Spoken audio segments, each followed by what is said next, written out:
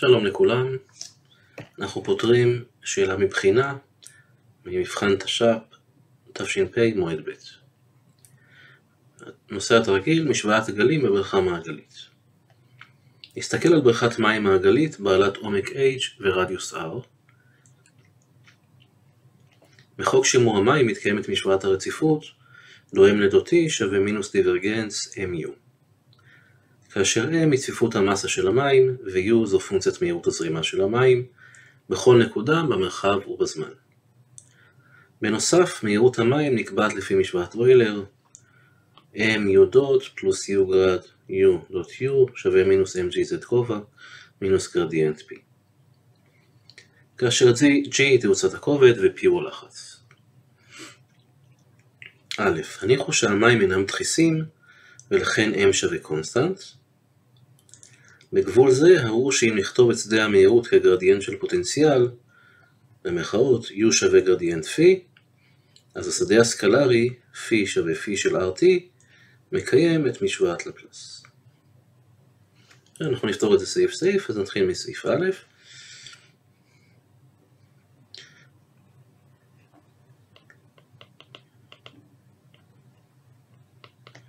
אז בסעיף א' רוצים להראות שבתנאי מסוים בתנאי של אי דחיסות של המים, אז מקבלים את משוואת לפלס. בואו נראה.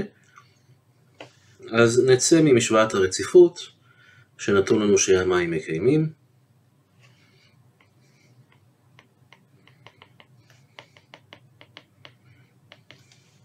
גורם לדותי שווה מינוס דיווגנס של M, U. זאת המשוואה שנתונה בתחילת השאלה. עכשיו אומרים לי להניח ש-M שווה קונסטנט.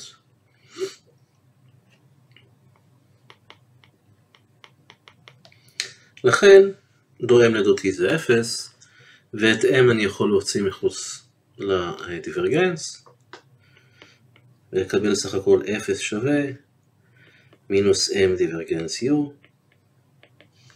או פשוט דיווגנס u שווה 0. עכשיו אומרים לי בסעיף הזה שאפשר להניח שיש פוטנציאל במרכאות פי ש-u שווה לגרדיאנט פי. אז מניחים ש-u שווה גרדיאנט פי ולכן אם אני מציב את זה לכאן, הוא מקבל שדיווגנס של גרדיאנט פי שווה 0, אבל דיווגנס של גרדיאנט זה בדיוק על הפלסיאן.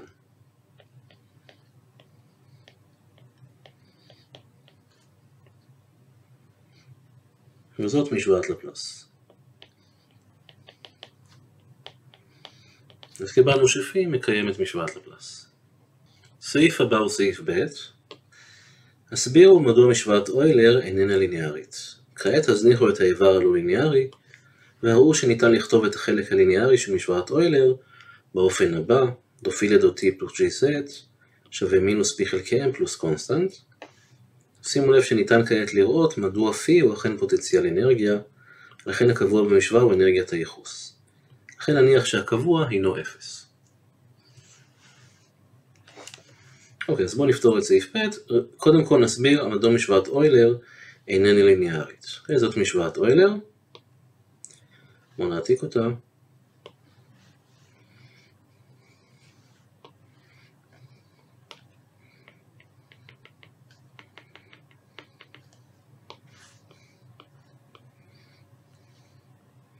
אז כשאני מחפש איזשהו איבר שלא ליניארי, זה איזשהו איבר שהוא לא ממעלה ראשונה במשתנה. אז כאן יש לנו את u דוט, אז u מופיע בחזקת 1.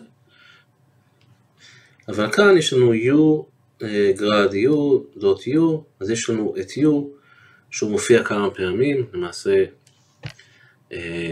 יותר מפעם אחת, כלומר האיבר הזה לא לינארי מ-u.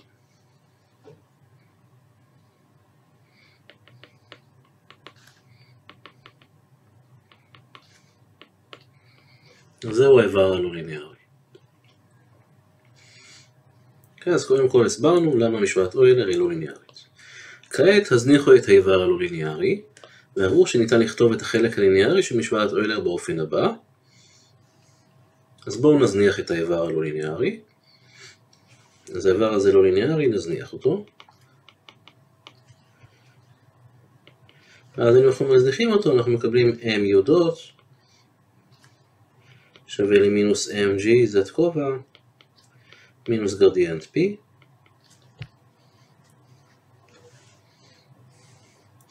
אבל תזכרו שאמרנו ש-u שווה גרדיאנט של phi, אמור u הוא גרדיאנט phi, לכן אם אני מציב את זה לכאן, אני אקבל ש-m דוט u, כלומר דולת גרדיאנט phi, שווה למינוס mgz כובע, מינוס גרדיאנט p.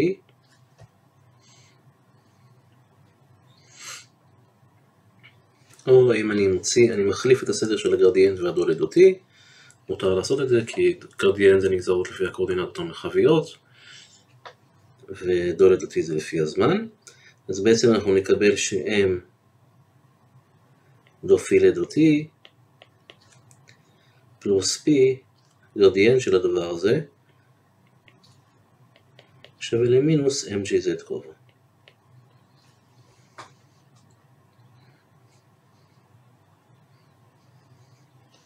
אוקיי, איחדתי פה את הגרדיאנטים, העברתי את הגרדיאנט של פי לכאן ואיחדתי אותו.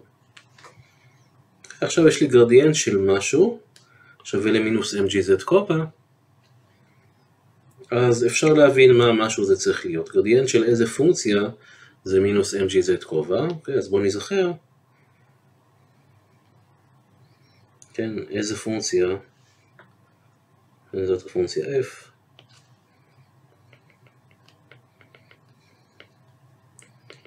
מקיימת שגרדיאנט f שווה מינוס mgz כובע. מה זה גרדיאנט f? זה אומר שדו f לדו x, דו f לדו y, דו f לדו z, שווה מינוס mgz כובע. אז כאן יש לי וקטור וכאן יש לי וקטור, הרכיבים שלהם שווים, זה אומר שדו f לדו x שווה 0, דו f לדו y שווה 0, ודו f לדו z שווה מינוס mg. אז לכן אפשר להניח שאין לי תלות ב-x ו-y, התלות היחידה שלי היא ב-z, כך ש-f שווה למינוס mgz. ולכן קיבלנו שהדבר הזה, הפונקציה f שכתובה כאן, שווה למינוס mgz. אז m דו פי לדו t, פלוס p שווה מינוס mgz. עד כדי קבוע. אז בואו נשים גם פה מינוס mgz פלוס constant ופלוס constant. כי אם אני גוזר את זה לפי z, אני מקבל מינוס mg. מותר לי להוסיף למינוס mgz, קבוע כרצוני, ולכן סך הכל נקבל, אם נחלק ב-m, ונסדר פה את האגפים, אז נקבל שדופיל לדותי, פלוס gz, שווה מינוס פי חלקי m, ועוד קונסטנט. אז שזה מה ש... רצינו להגיע אליו.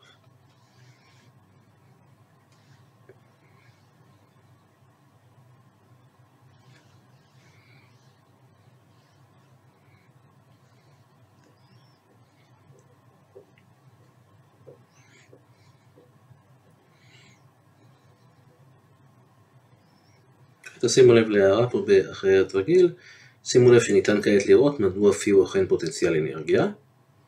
ולכן הקבוע במשוואה הוא אנרגיית הייחוס, לכן נניח שהקבוע הינו 0. אוקיי, אפשר להסתכל על המשוואה הזאת שקיבלנו בתור איזושהי משוואה לפוטנציאל אנרגיה, ככה שהקבוע כאן, אני יכול לאפס אותו.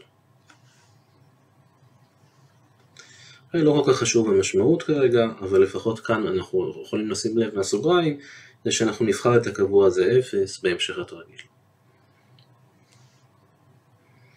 ג. סעיף ג.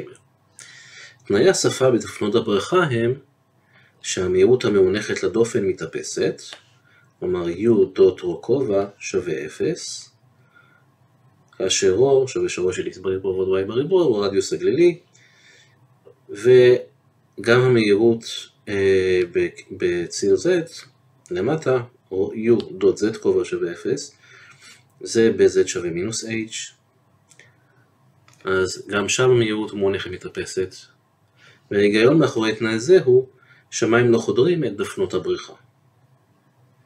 מה תנאי השפה עבור הפוטנציאל? השתמשו בהפרדת משתנים פי שווה t כפול פסאי, השתמשו בעובדה שפי, ולכן גם פסאי, מקיימת את משוואת לפלס, ומיצרו את הפונקציות המרחביות פסאי, שמקיימות את תנאי השפה. שימו לב שעדיין חסר לכם תנאי שפה ב-z שווה 0.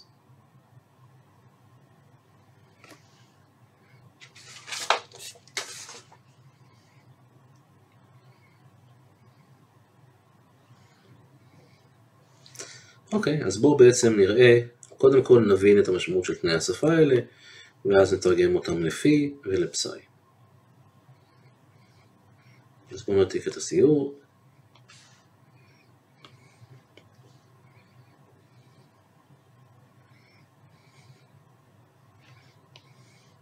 ונדבר על תנאי השפה.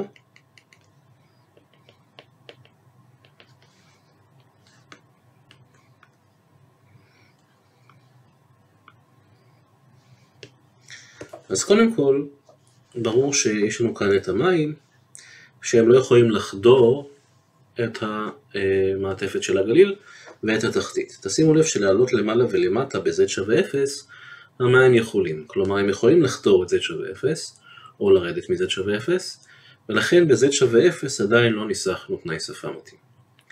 אבל בקצוות, נניח אני מסתכל כאן על איזושהי נקודה, אז לא יכול להיות שבנקודה הזאת יש מהירות בנקודה על השפה, בגלל שאם הייתה לה מהירות ימינה, זה אומר שבעצם המולקולת מים שנמצאת כאן חודרת את השפה. אוקיי? וזה לא יכול להיות. אם הייתה לה מהירות שמאלה, המשמעות של זה הייתה שבעצם יש כאן אה, מים כאילו שנכנסים מהשפה פנימה, שזה גם לא יכול להיות. אז לכן המהירות על השפה עצמה חייבת להיות 0. אותו דבר בשפה התחתונה, המהירות של כל מולקולה של המים על השפה התחתונה צריכה להתאפס, כלומר כי המים לא יכולים לחדור את המכסה התחתון. אז קודם כל הבנו מה המשמעות של תנאי השפה מבחינה פיזיקלית. אז קודם כל אמרנו שיהיו ב-R שווה סליחה, בראש שווה R, לכל פי ולכל z זה 0, u, מדובר על u דוט r כובע, כי זה הרכיב של u בכיוון הניצב למעטפת הזאת. u r כובע זה בעצם רכיב u, u דוט r כובע זה רכיב r, r של u. ואותו דבר על השפה התחתונה, זה על היקף הגליל, ועל המכסה התחתון יהיו ב, אה, לכל רו, לכל פי, וב-z שווה מינוס h, דוד z כובע שווה 0. זה, זה המשמעות הפיזיקלית של תנאי השפה שהיו נתונים בסעיף. אז כאן לא, לא חידשנו כלום, זה מה שנתון בסעיף. אני עכשיו רק רוצה עכשיו לבטא את זה במונחי פי, אוקיי? רק לפני זה בעצם u דוט רו זה בעצם הרכיב רו של u.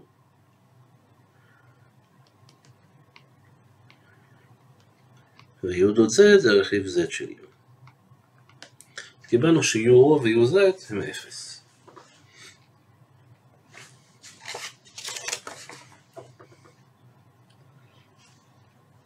אבל u קשור לפי, בגלל שפי לפי ההגדרה, U שווה גרדיאנט פי. אז אם U שווה גרדיאנט פי, זה אומר ש... אה, כש-UR מתאפס, אם UR מתאפס, אם UR מתאפס, זה אומר שדו פי לדורו צריך להתאפס, ואם UZ מתאפס, אז זה אומר שדו פי לדו Z מתאפס. אז בעצם התרגום של התנאי על U לפי, לפוטנציאל המהירות, שהוגדר בשאלה, זה שהנגזרות המתאימות של פי צריכות להתאפס, כלומר זה דו פי לדורו בראש שווה R צריך להתאפס, זה בא מהתנאי הזה, הראשון. ומהתנאי השני של UZ מתאפס, זה אומר שדו פי לדו Z ב-Z שווה מינוס H צריך להתאפס. אז בינתיים קיבלנו שני תנאי שפה על פי, גם בהיקף של הגליל, הנגזרת שלו לפי רו צריכה להתאפס על ההיקף, והנגזרת שלו לפי Z צריכה להתאפס על ההיקף.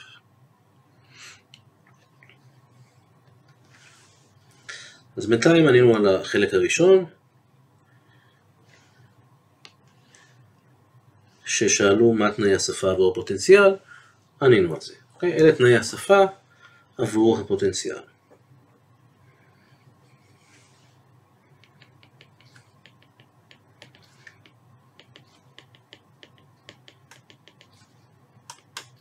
כן, יש לנו שני תנאי שפה, זה וזה.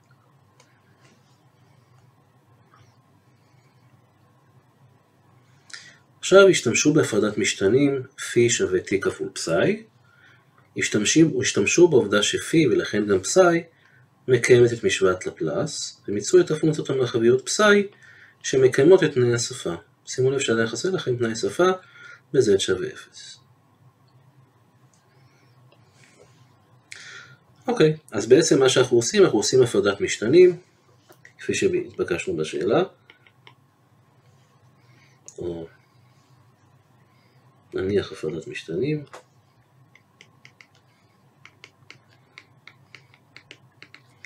שפי של RT שווה איזושהי פונקציה של T כפול פסאי שהיא פונקציה של R בלבד. אז ברור שאם אה, לפלסיאן פי שווה 0, זה אומר שגם לפסיאן פסאי שווה 0, בגלל שלפסיאן כולל רק נגזרות לפי קורדינטות מרחביות.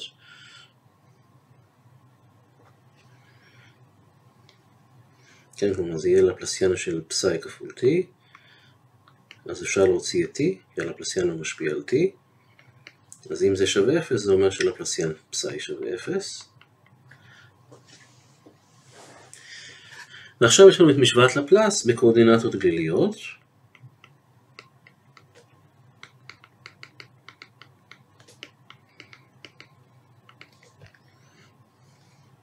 אנחנו יודעים שאנחנו צריכים להפריד את המשתנים בצורה כזאת שאין להם פונקציה שתלויה ב-ρ, פונקציה שתלויה בפי,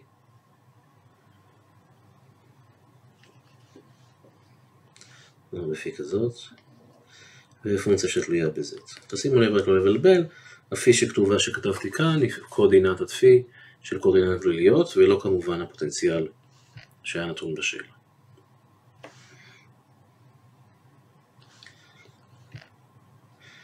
אוקיי, אז מניחים הפרדת משתנים כזאת, מציבים למשוואת לפלס,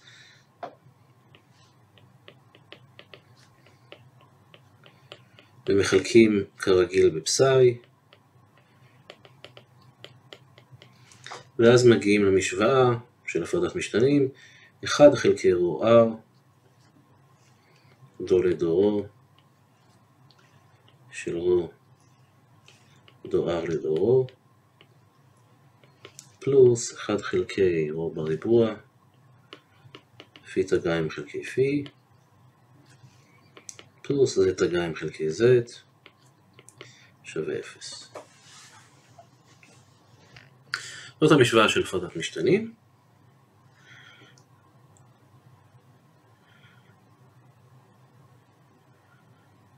ועכשיו אני צריך להחליט מה הסימנים של הקבועים, ברור שזה שווה לקבוע, זה שווה לקבוע, וזה גם שווה לקבוע.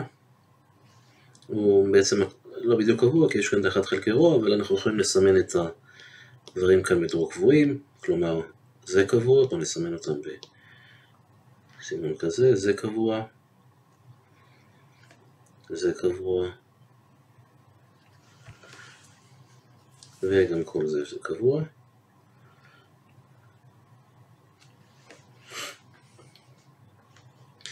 עכשיו, איך אנחנו נחליט את הסימן של הקבועים? אז בואו נתחיל עם פי, זה הכי פשוט. פי תגע עם חלקי פי, שתי אופציות, או שהקבוע חיובי או שהוא שלילי.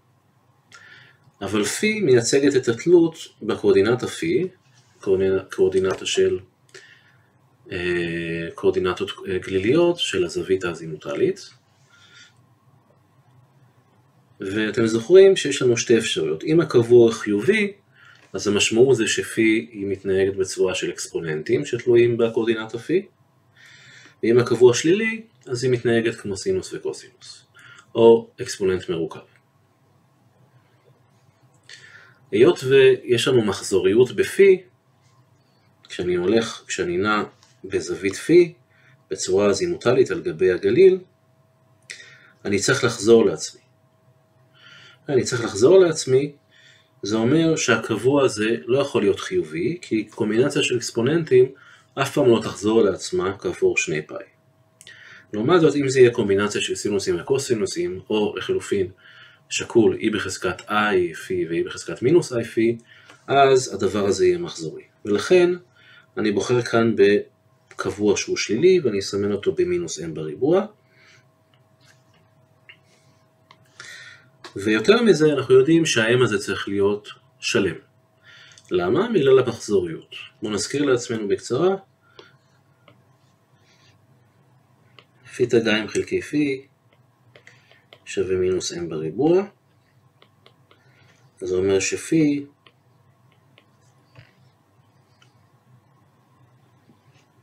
היא בחזקת im פי.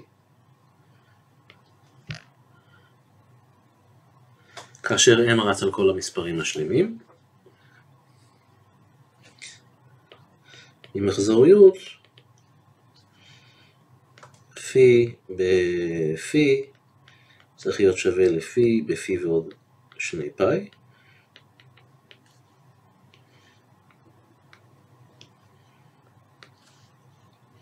ולכן m חייב להיות שלם.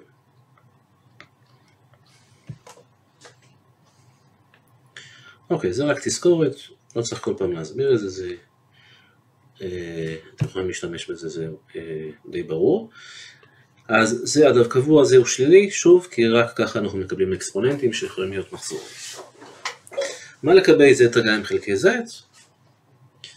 אז היות ואין לי, לי מחזוריות ב-z, כן, ב-z אנחנו יודעים שהנגזרת צריכה להתאפס פה למטה, אבל כאן למעלה אין לי תנאי של התאפסות או משהו כזה, ולכן אפשר לבחור בקומבינציה של אקספוננטים או לחילופין באופן שקול של קוסינוס היפרבולי וסינוס היפרבולי. במקרה כזה נבחר את הקבוע להיות חיובי. לכן נסמן אותו בתור K בריבוע.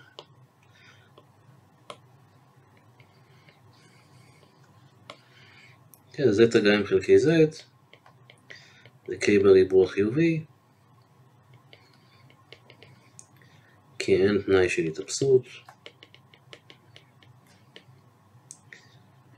בשתי הקצוות, שני הקצוות. Z שווה 0 ו-z שווה מינוס h, אלא רק תנאי אחד של התאפסות ב-z שווה מינוס h. וכאשר אין לנו תנאי של התאפסות בשני קצוות, אנחנו יכולים לבחור בקומבינציה של אקספוננטים. אז סך הכל נקבל שזה k בריבוע, זה מינוס m בריבוע, ולכן הקבוע הזה, אנחנו יכולים למצוא אותו מכאן, זה פשוט m בריבוע חלקי rho בריבוע, פחות k בריבוע.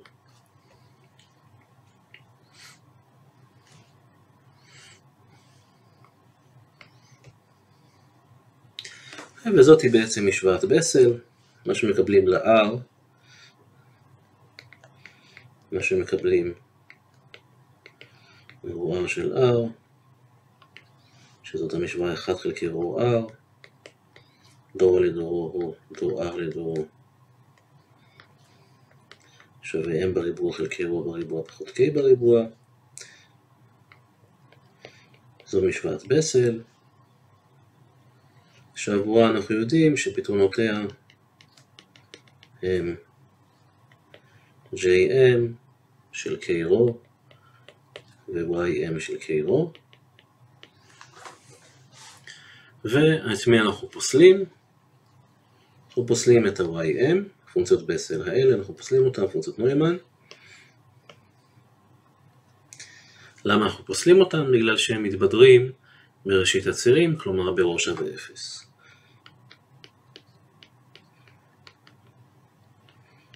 אנחנו לא יכולים לרשות לעצמנו שהפתרון יתבדר בראש שווה 0, בגלל שראש שווה 0 הוא חלק מהמרחב שבו אנחנו מעוניינים בפתרון. ראש שווה 0 זה בראשית הצירים.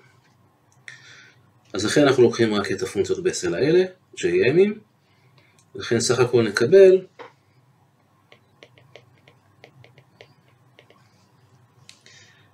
אה, שהצורה של הפונקציה היא JM, K רו, היא בחזקת IM פי,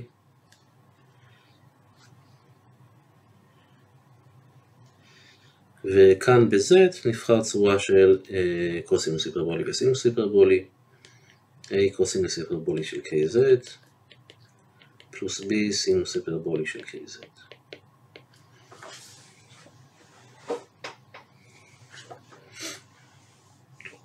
אוקיי, עכשיו בינתיים רשמנו פתרון שמקיים אה, כל מיני תנאי שפה, כמו שלא תהיה התבדרות בראשית, תנאי המחזוריות, אבל עוד לא יישמנו את תנאי השפה ההומוגניים האלה של אה, התאפסות הנגזרת. אז בואו ניישם אותם. אז אמרנו שעל על, על הקליפה על המעטפת, דופיל לדורו צריך להתאפס.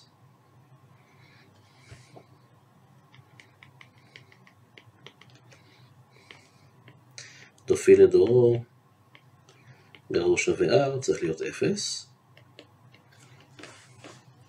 התלות היחידה ברו נמצאת כאן, ולכן זה אומר שדו לדורו של JMK רו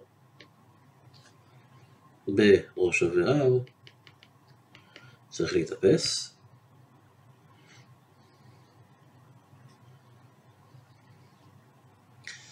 אז אנחנו יודעים שהפונקציות בסל, פונקציות בסל מתאפסות בערכים מסוימים, ויש גם ערכים אחרים שעבורם הנגזרות שלהם מתאפסות. אז בואו נסמן אותם ב-QJM. נסמן ב-QJM אפסים של הנגזרת של פונקציית בסל, JM,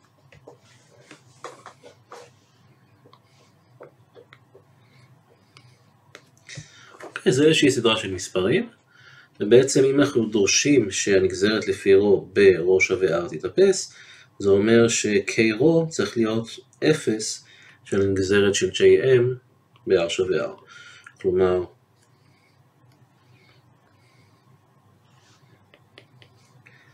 km כפול רו, סליחה, km כפול r צריך להיות qjm.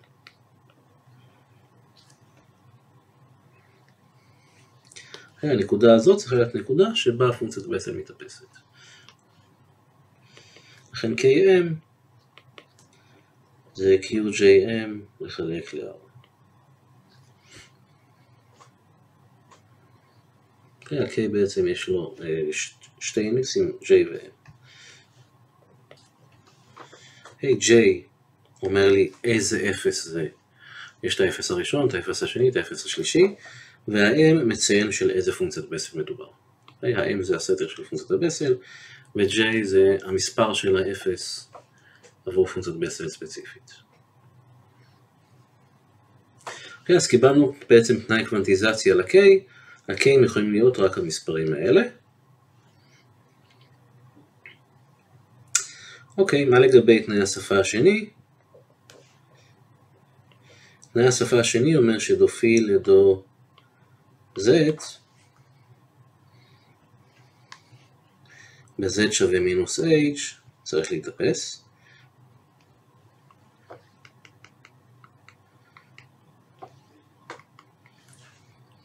אז אני עכשיו מסתכל על הפונקציה שתלויה ב-z.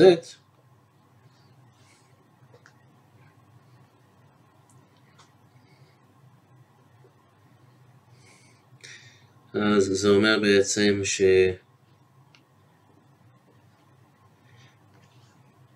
אני גוזר את הקוסינוס היפרבולי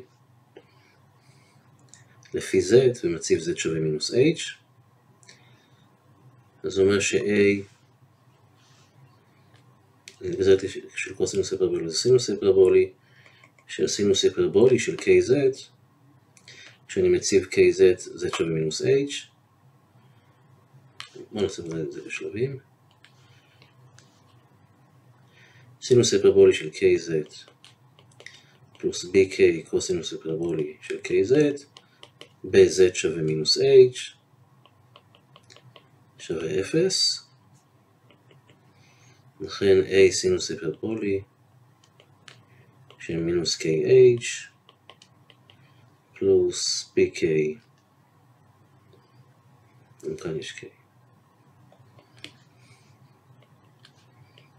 קוסינוס היפרבולי של מינוס kh צריך להיות שווה ל-0 k מצטמצם.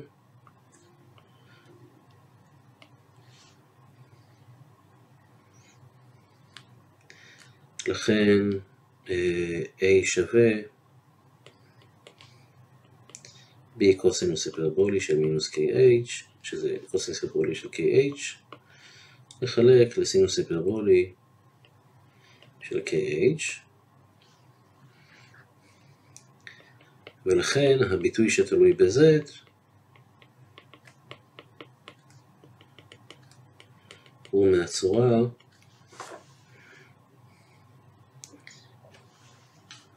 a קוסינוס היפרבולי, אז אני מציב, זה b קוסינוס היפרבולי של kh, נחלק לסינוס היפרבולי של kh, זה a כפול קוסינוס היפרבולי של kh, של kz, פלוס b סינוס היפרבולי של kz,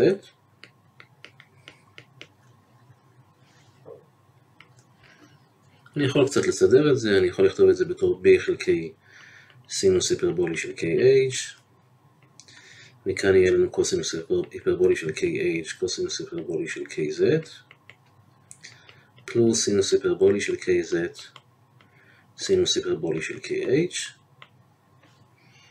והדבר הזה, אני יכול לפשט אותו, זה בעצם קוסינוס היפרבולי של kz פלוס kh. ולדבר הזה, היות והוא קבוע, אני אקרא לו b מחדש. אני אסמן אותו בתור b, פשוט נבלע את הקבוע הזה בתור b שהיה קודם.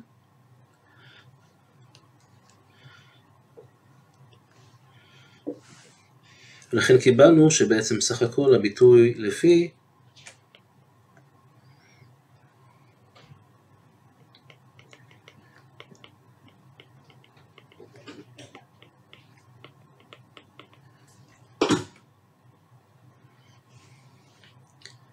הוא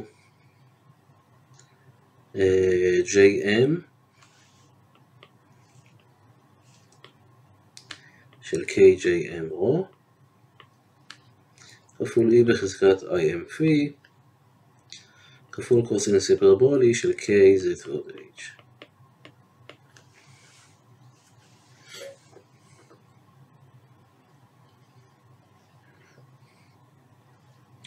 רק הערה, יכולנו להימנע מכל הסרבול הזה, יש כאן קצת סרבול מתמטי, על ידי זה שמלכתחילה היינו מגדירים את הסינוס היפרבולי והקוסינוס היפרבולי שלנו במקום kz היינו רושמים פשוט באופן כללי כאן סינוס היפרבולי של kz ועוד kh וגם כאן קוסינוס היפרבולי של kz ועוד kh פשוט מזיזים את ציר ה-z שהוא יתחיל במינוס h ואז אם היינו עושים את זה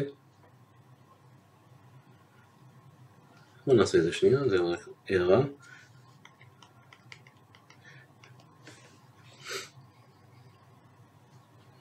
את תנאי השפה בשתיים.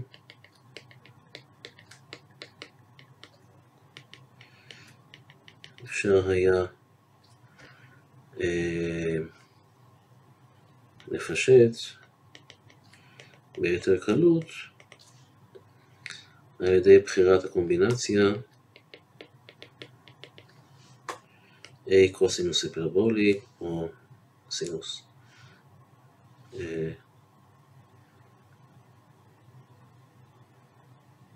לפי שלנו זה כן, A קוסינוס היפרבולי של KZ ועוד H ועוד B סינוס היפרבולי של KZ ועוד H. כלומר, היינו לוקחים את הפי שרשמנו כאן, אבל מזיזים את ה-Z אה, ביחס ל-H. למה הקומבינציה הזאת עדיפה? בגלל שאז כשאני מפעיל את תנאי השפה של דו פי לדו Z, ב-Z שווה מינוס H, שצריך להתאפס, אז אם אני גוזר את זה לפי Z, אז זה יהיה A סינוס היפרבולי, AK סינוס היפרבולי של KZ ועוד H, ועוד BK קוסינוס היפרבולי של KZ ועוד H, כל זה ב-Z שווה מינוס H, זה צריך להיות שווה ל-0,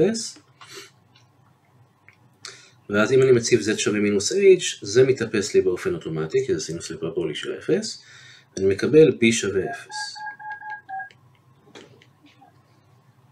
אז אם b שווה 0, נשארנו רק עם החלק של הקוסינוס היפרבולי, שהוא k כפול z ועוד h.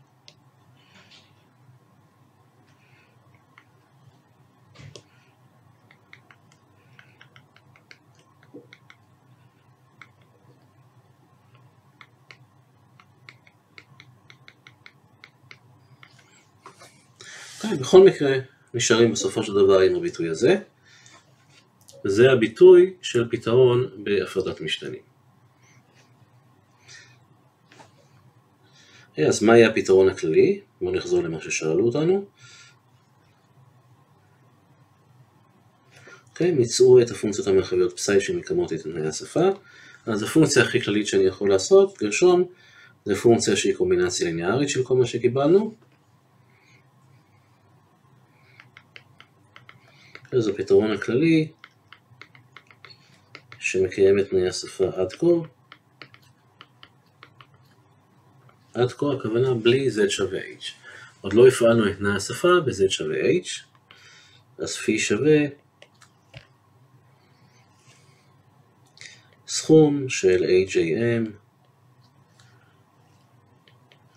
JM של KJM כפול רו, יהיה בחזקת IM פי, כפול קוסינוס היפרבולי של kz ועוד h.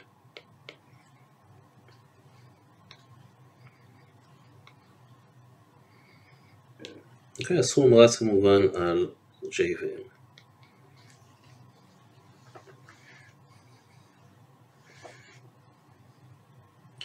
אז בזה פתרנו את סעיף 3, אה, ג'.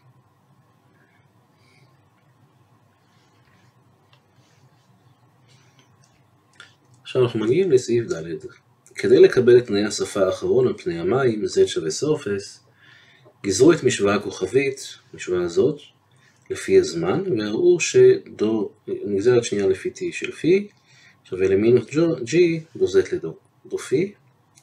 כאן עליכם להניח שהלחץ לא תולי בזמן, ולהניח שלפני המים dz לdt זה uz. אז בואו נעשה את זה. אה, ויש גם המשך, אבל בואו נתחיל קודם כל עם החלק הראשון. אז קודם כל בואו נקבל את המשוואה הזאת. אז ניקח את משוואה הכוכבית ונגזור אותה לפי הזמן.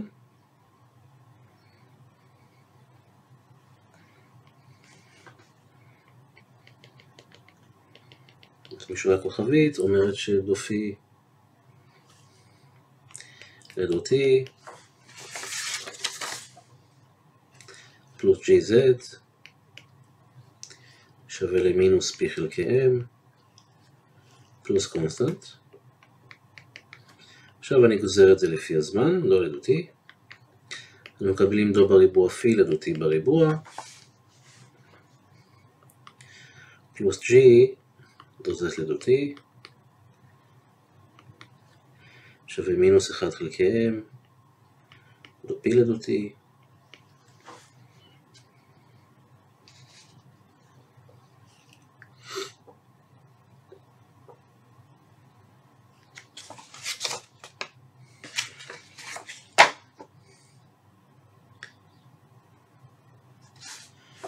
פלוס הנגזרת של קונסטנט זה 0. עכשיו אמרו להניח ש... אה,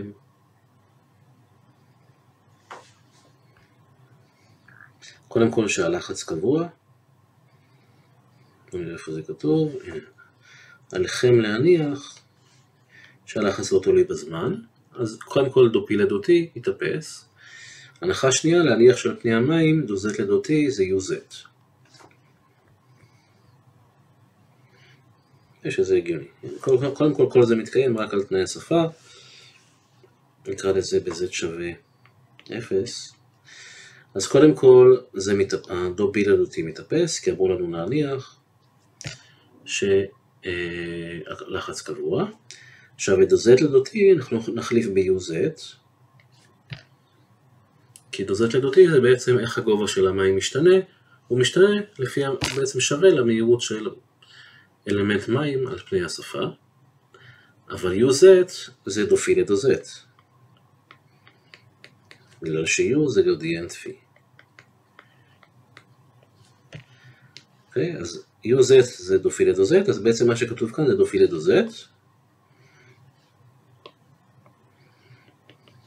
נקבל שדו בריבוע פיל את אותי בריבוע, פלוס G דו פיל את ה-Z שווה 0.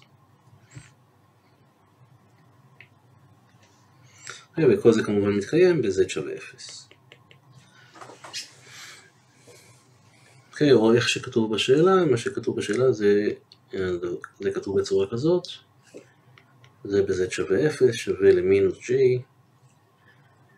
דו z פי ב-z שווה 0. אוקיי, אז קיבלנו בעצם את המשוואה שצריכה להתקיים ב-z שווה 0, זה תנאי השפה, ב-z שווה 0. אז סיימנו להוכיח את המשוואה שביקשו, ועכשיו בואו נחזור לחצי השני, שיהיה סעיף ד'.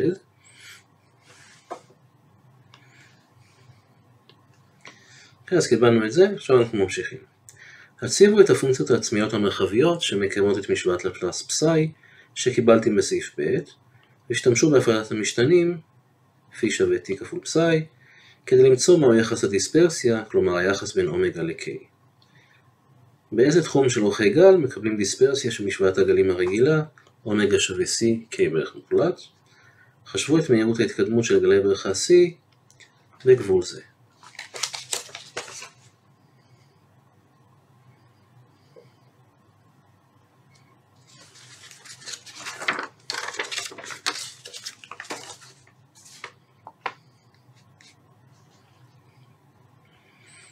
אוקיי, אז בואו נחזור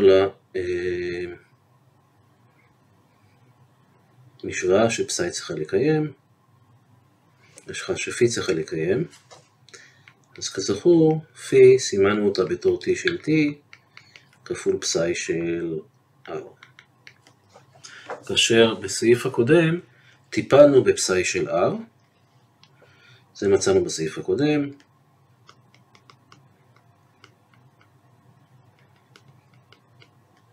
אם אני מדבר על פתרון בהפרדת משתנים, אז כל פתרון כזה, אני מסתכל בלי הסכום, כל פתרון כזה הוא בעצם מקיים את משוואת לפלס אה, בקורדינטות המרחביות.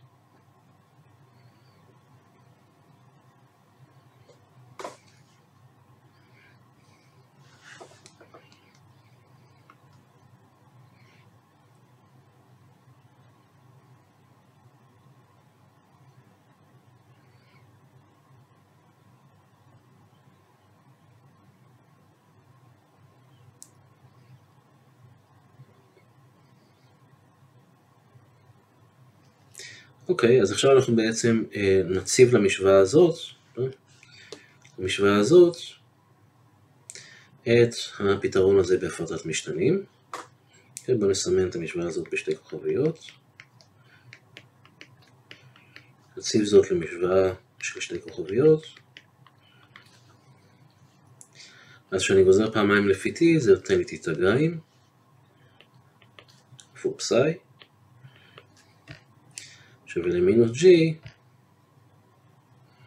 דו z של פי, אז זה דו פסאי לדו z, וכל זה כמובן ב-z שווה 0.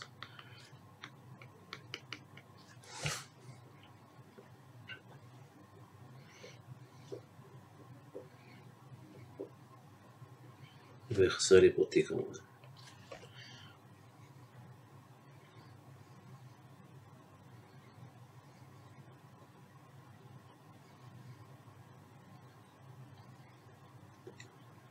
אוקיי, אז עכשיו אם אנחנו מניחים, אה, כמו שביקשנו, ביקשנו לגלות קשר יחס דיספרסיה בין אומגה ל-K, אוקיי? זה אומר שה-T כאן מתנהגת, אנחנו אמורים לצפות שהיא תתנהג כמו אה, גל.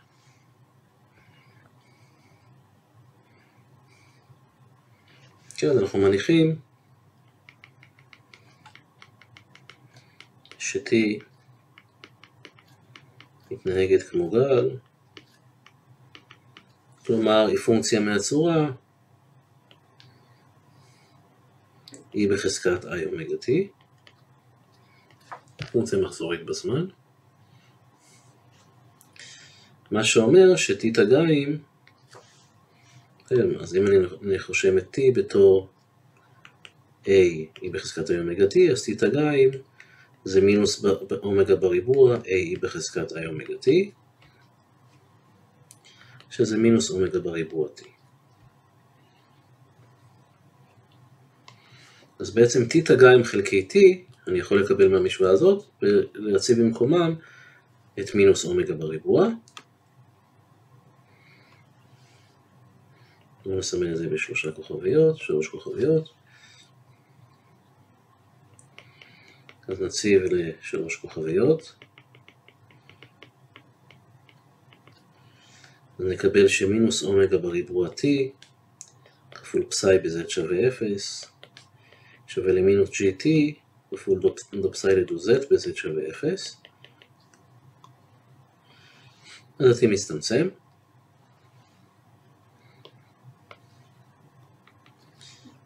מקבלים מינוס אומגה בריבוע, פסאי ב-z שווה 0, שווה למינוס g, דופסאי לדו z ב-z שווה 0. ועכשיו מה שנשאר לנו לעשות זה להציב את פסאי שמצאנו כבר קודם. אז בואו נזכר בצורה של פסאי.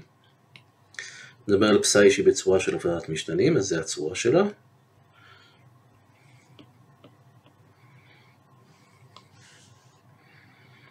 כזכור, פסאי מהצורה הזאת. לכן פסאי בזה שווה, לכן אם אני מציב, אני מקבל שמינוס אומגה בריבוע, פסאי ב-z שווה 0, אז אני מציב כאן z שווה 0. זה AJM, JM, KJM רו, היא בחזקת IMP, קוסינוס היפרבולי של KH, שווה למינוס G, כפול, אני גוזר את זה עכשיו לפי Z ונציב Z שווה 0, אז כשאני גוזר את הקוסינוס היפרבולי, אני מקבל סינוס היפרבולי, ואני מציב Z שווה 0, אז זה יהיה AJM, JM, KJM רו, היא בחזקת IMP, K, שזה הנגזרת הפנימית, כפול סינוס היפרבולי של KZ ועוד H.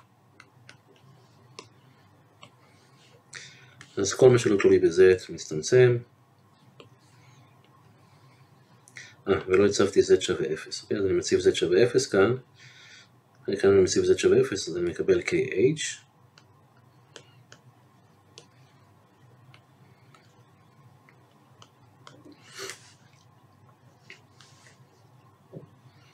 אז סך הכל נקבל שאומגה בריבוע שווה gk כפול סינוס היפרבולי חלקי כאן קוסינוס היפרבולי שזה טנגנס היפרבולי של kh. כלומר אומגה שווה שורש של gk עבור טנגנס היפרבולי של kh.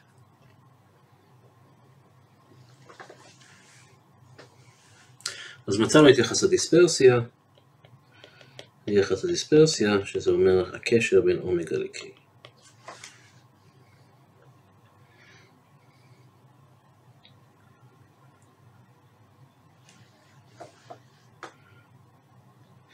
באיזה תחום של אורכי גל מקבלים דיספרסיה של משוואת הגלים הרגילה, אומגה שווה CK. אז אני מחפש מתי אני מקבל קשר ליניארי בין אומגה ל-K.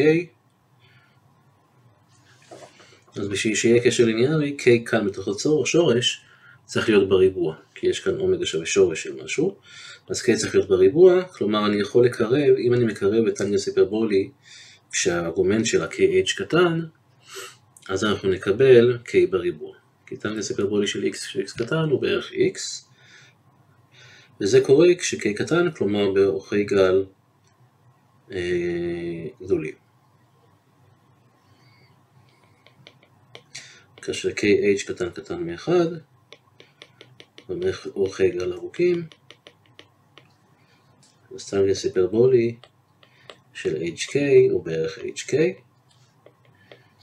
ולכן אומגה שווה בערך ל-gk כפול kh, כלומר ל-k כפול שורש gh. וזה מתאים ל-K כפול קבוע, אז הקבוע הזה נקרא לו C. זוהי בעצם מהירות הגלים. וכי C שווה שורש GH.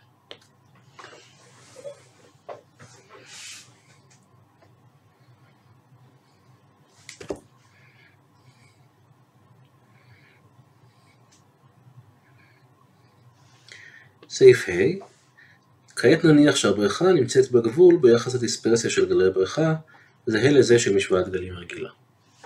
כלומר אומגה שווה CK, כלומר אנחנו בגבול של אורכי גל גבוהים. נניח שבזמן t שווה 0 ילד מטיל מטבע לבריכה ובמזל המטבע נוחת בדיוק במרכז הבריכה, כך שנוצר פוטנציאל המהירות התחלתי פי ב-t שווה 0 זה פי 0 דלתה של רו חלקי 2 פיירו. בנוסף, נניח שבזמן t שווה 0 הנגזרת הזמנית של הפוטנציאל מתאפסת, כלומר אין מהירות התחלתית.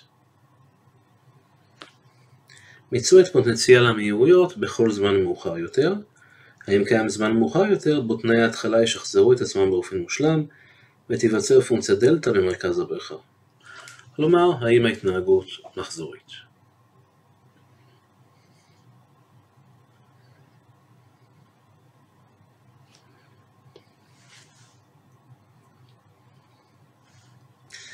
אוקיי, אז בעצם אנחנו לוקחים את הפתרון שקיבלנו, זה אנחנו בסעיף ה', יש לנו בעיה עם תנאי התחלה מסוים, אז קודם כל בואו נרשום את הפתרון הכללי שקיבלנו. הפתרון הכללי שקיבלנו, לפי של RT, הוא, אז כזכור, אנחנו עובדים קודם כל בתחום שבו הקשר יחס הדיספרסיה הוא ליניארי, כלומר אני עומד, עובד עם אומגה שהוא שווה שורש K, K כפול שורש GH, והתלות של T, כמו שהנחנו, זה איזושהי תנות כזאת אקספוננציאלית בזמן.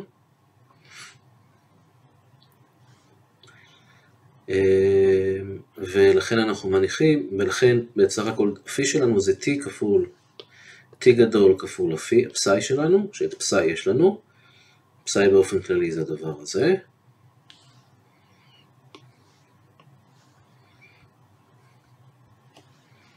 זה החלק שתלוי במרחב. ועכשיו אנחנו כופלים אותו בפונקציה שתלויה בזמן.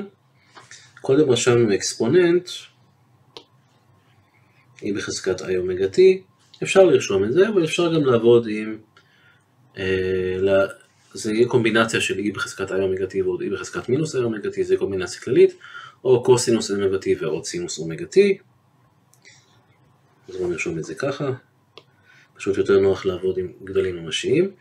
אז זה יהיה, אה, בואו נקרא לזה A גל קוסינוס אומגה T, B גל סינוס אומגה T.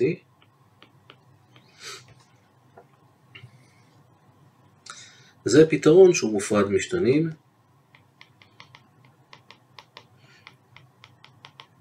שכולל כעת גם את T.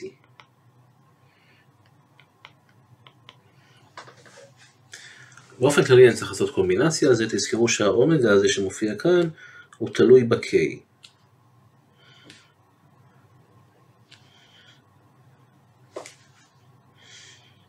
עכשיו, אמ,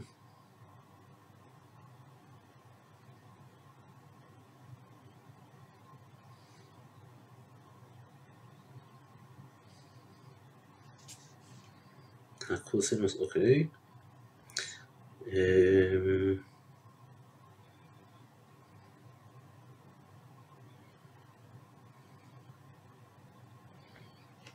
אני רק רואה שלא סימנתי פה KJM בכל מקום, אז כאן כמובן יהיה KJM.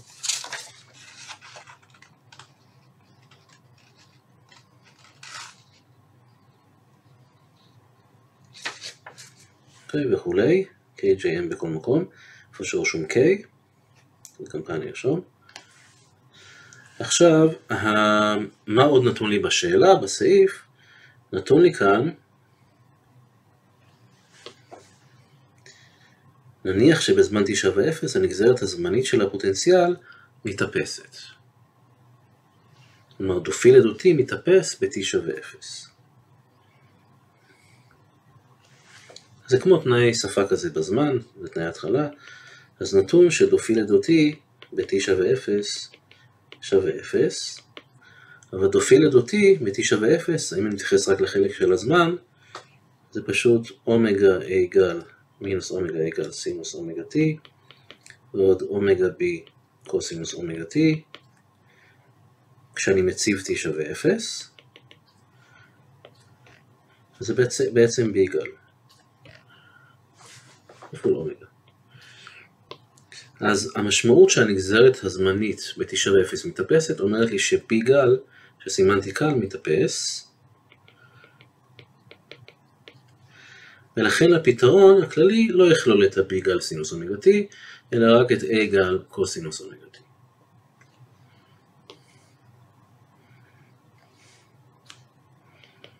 אז הפתרון הכללי. הוא פי של t ו-r, זה יהיה AJM קוסינוס אומגה t, אבל אומגה תלוי ב-JM, אני רושם אומגה JMT, JM KJM רו, היא בחזקת IM פי, קוסינוס היפרבולי של KJM, זה ועוד H, וכמובן סכימה על J ו-M. אז הפתרון הזה גם מקיים את תנאי השפה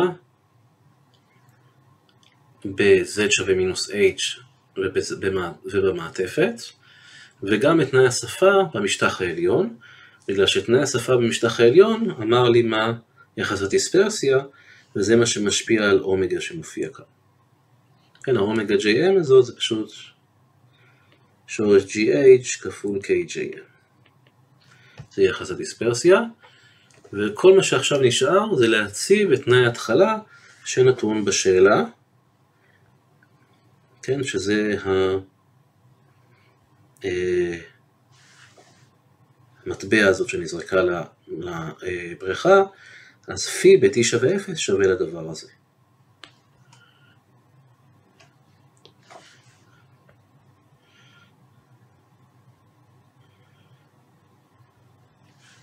כעת נציב את תנאי ההתחלה שאומר שפי ב-t שווה 0 שווה לפי 0 דלתא של רו לחלק לשני פאי. אוקיי, וזה בשפה. בואו נסתכל עוד פעם בשאלה. כן.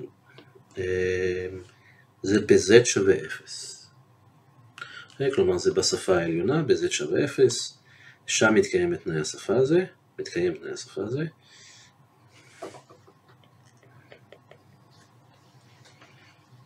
אז עכשיו ניקח את הפתרון הכללי ופשוט נציב את תנאי השפה הזה. אז זה אומר לי שפי 0 דלתא של רו לחלק לשני פאי רו שווה, יעשו סכום על JM, AJM, קוסינוס של 0, t שווה 0 זה 1, ויהיה לי כאן JM, KJM רו, E בחזקת IM פי, קוסינוס סופרבולי, אנחנו מציבים z שווה 0, של KJM H.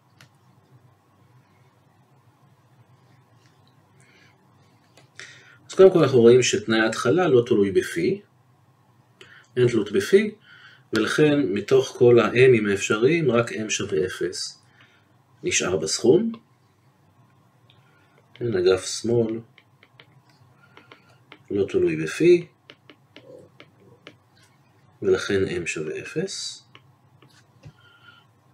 אפשר לחשוב על זה בתור הטלה, אני עושה הטלה על e בחזקת im תג פי כלשהו כללי, ההטלה היחידה שלא תתאפס זה כש-m שווה 0, כש-m תג שווה 0.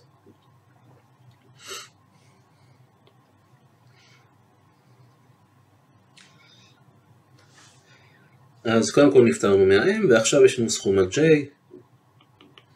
אז פי 0 דלתא של רו, נחלק לשני פאי רו, שווה סכום על j, aj, j0, KJ0 או קוסינוס היפרבולי של KJ0H. ועכשיו נעשה הטלה על פונקציות בסל מסדרים אחרים.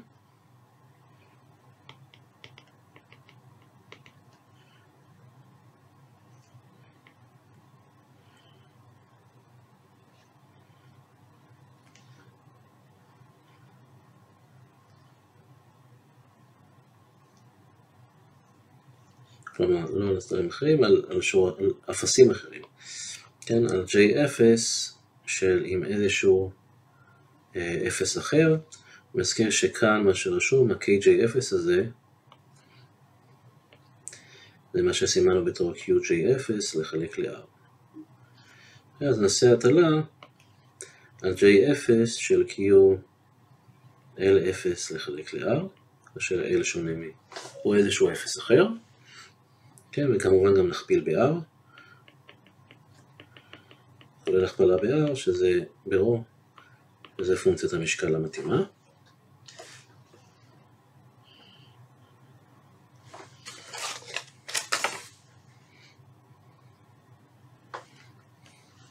אנחנו נקבל פי 0 דלתא של רו, לחלק לשני פאי רו, כפול J0, QL0 לחלק ל-R, כפול רו. אנחנו צריכים להכפיל פה ברו, כי זה פונקציה של רו. ואנחנו כופלים ברו, ועושים אינטגרל דירו, מ-0 עד R. ובאגף שמאל יהיה לנו סכום על J, סליחה באגף ימין, סכום על JAJ, J0, QJ0 לחלק ל-R כפול רו, J0 QL0 לחלק ל-R כפול רו, קוסינוס היפרבולי של KJ0H כפול רו, ודירו ואינטגרל.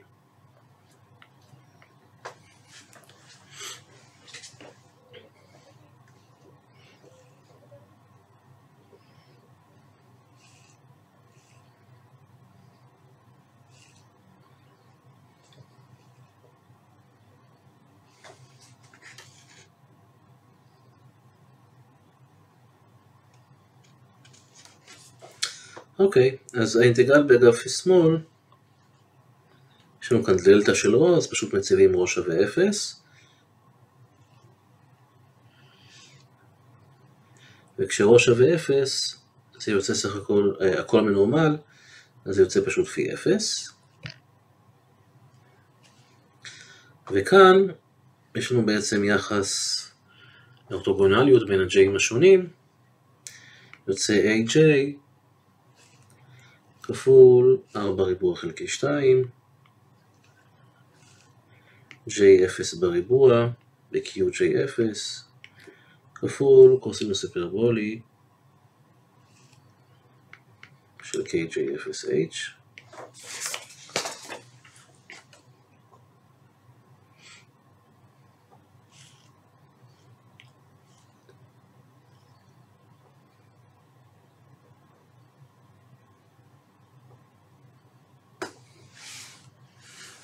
אוקיי, את זה אפשר להזניח בגלל שהנחנו שאנחנו באורכי גל ארוכים, כלומר KH, הנחנו ש-KH קטן קטן מ-1, לכן קוסינוס היפרבולי זה בערך קוסינוס היפרבולי של 0 שהוא 1.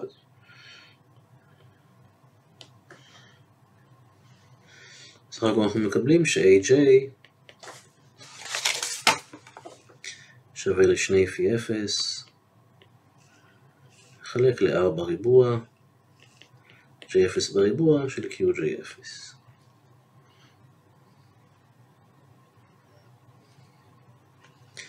לכן סך הכל הפתרון, בסיכום, הפתרון הוא פי ברו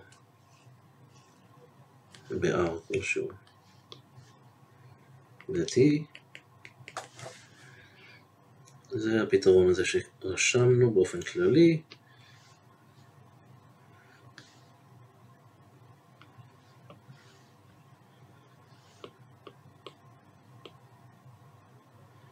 כאשר, בואו נעשה תיקונים קודם כל, אז את הקוסינוס אמרנו שאנחנו יכולים להזניח, או ש... כן, אנחנו מניחים ש... אנחנו מניחים שהתלות בקוסינוס היא אה, זניחה, בגלל שה-K מאוד מאוד קטן, אז אני אמחוק אותו, זה קוסינוס היפרבולי של 0, שזה פחות או יותר 1. ובסכום הזה יש לנו רק m שווה 0, כמו שאמרנו. אנחנו רוצים רק על j, אז j0 יהיה בכל מקום, ו-kj0, והתלות בפי לא קיימת. ובמקום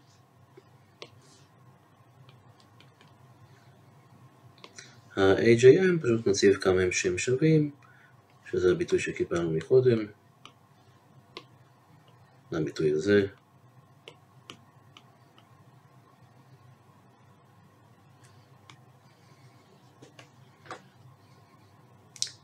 וזה בעצם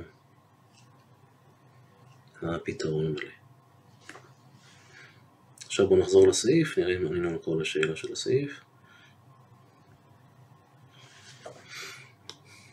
אוקיי, אז מצאנו מציאות פוטנציאלי מאוד בכל זמן מאוחר יותר, מצאנו. האם קיים זמן מאוחר יותר בו תנאי ההתחלה ישחזרו את עצמם באופן מושלם, ותיווצר פונקציה דלתא במרכז הבריכה?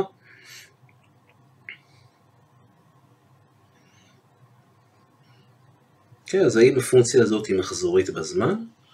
זה תלוי באומגה JM, האם הם, יש איזושהי כפולה משותפת שלהם. אם יש כפולה משותפת להם, כל האומגה JM, אז בעצם מתישהו זה יחזור על עצמו, אבל האומגה JM כולם הם שורש GH כפול K, זה אומגה J0 דרך אגב, כפול KJ0, אבל KJ0 זה האפסים של הנגזרות של פונקציות בסל מסדר 0, שאין להם, אין יחסים מסודרים ביניהם, כלומר הם מספרים שאין בהם אה, גורם משותף כלשהו, פשוט רצף של מספרים שהוא אה, לא מקיים איזשהו יחס מסוים, ולכן הפונקציה הזאת לעולם לא תחזור על עצמה. כן, אז אומגה J0 הן תדירויות.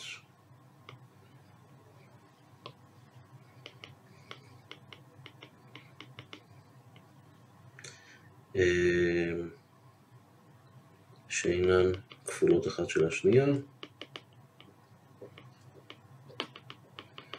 ויש אינסוף כאלה, כן, יש אינסוף אפסים, J רץ מ-1 עד אינסוף, ולכן פי של RT אינה מחזורית ככה שהיא לא תחזור על עצמה. רואה זמן שבו היא תחזור על עצמה.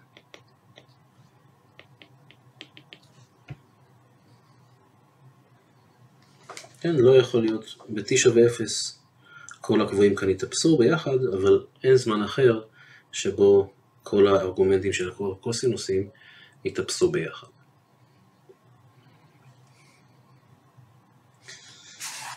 אוקיי, אז בזה סיימנו את התרגיל. תודה והתראות.